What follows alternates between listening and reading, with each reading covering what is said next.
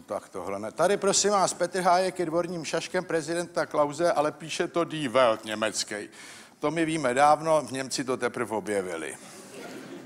Bem otočil boj o open card, máte-li svědomí, odstupte. Hrozně se rozčílil, jak to teď vedou na radnici. To jsou takový český hrádky, že vždycky nějaký politik zjistí, že ty politici po něm jsou ještě horší, než jak hrozný byl on.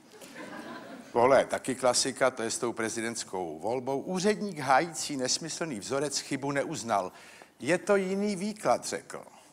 Prostě, že jedna jedna jsou tři, může být jiný výklad. Česku hrozí na nový rok informační kolaps, checkpoint nemá provozovatele.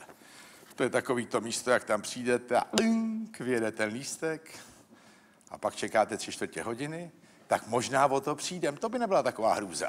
Hm. No a tohle je bomba týdne.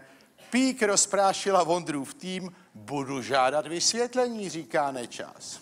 To žádejte, hele, po tom, co jste jmenoval. Tak, to by bylo všechno.